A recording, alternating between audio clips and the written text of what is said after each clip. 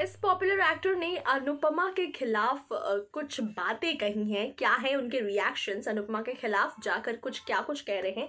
जानते हैं इस वीडियो में। नमस्कार, मैं स्निग्धा स्वागत करती हूँ आप सभी का हमारे चैनल पर। मैंने आपको बता दूँ कि ये पॉपुलर एक्ट्रेस जिन्होंने अनुपमा के खिलाफ ये बातें की हैं, वो है अजय चौधरी। मैंने आपको बता दूँ कि ये टीवी दुनिया के पॉपुलर एक्टर हैं और इन्होंने फ़िलहाल अनुपमा के खिलाफ बातें कही। उनका कहना है कि अनुपमा जैसे सीरियल का प्रमोट करना और टीआरपी नंबर नंबर में नंबर वन पर बनना बेहद ही दुखद है। क्योंकि उनका मानना है कि इस तरीके की खबरें जो कि एक्स्ट्रा मैरिटल अफेयर्स को प्रमोट कर रहा हो ऐसे तर, ऐसे सीरियल्स जो कि समाज में इस तरीके की मैसेज फैला फैला रहा है बेहद ही गलत है। जहाँ मेरी बह मेरी माँ मेरी बहन और मेरी वाइफ एक साथ बैठकर सीरियल देखती है वहाँ मेरी एक छोटी पाँच साल की बेटी भी है वो भी देखती है जो मुझे बिल्कुल पसंद नहीं है। जिसके बाद मैं अपनी बेटी को बिल्कुल भी ये सीरियल देखने नहीं देता हूँ।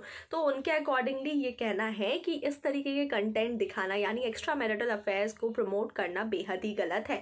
यानी कि आजकल का सोसाइटी क्या कुछ सीखेगा और क्या मॉडर्न जनरेशन सीखेगा, आजकल बेहद ही गलत है जो दिखाने की कोशिश की जा रही है। तो अनुपमा से के कंसेप्ट से काफ़ी खिलाफ है ये पॉपुलर एक्टर और फ़िलहाल उनका मानना है कि हमारे टीवी सीरियल्स में बदलाव की बहुत ज़रूरत है। कुछ ऐसे कंटेंट्स दिखाए जाए जिससे आने वाला जनरेशन बहुत कुछ सीख पाए। लेकिन ये वाले कंटेंट्स पर वो बेहद ही खिलाफ हैं और उनका कहना है कि अनुपमा को मैं बिल्कुल भी प्रेज नहीं करता हूँ और उसकी हाई टीआरपी को लेकर मैं खुद शौक हूँ कि आखिर ऐसे कंटेंट्स को लेकर लोग हाई टीआरपी कैसे दे रहे हैं।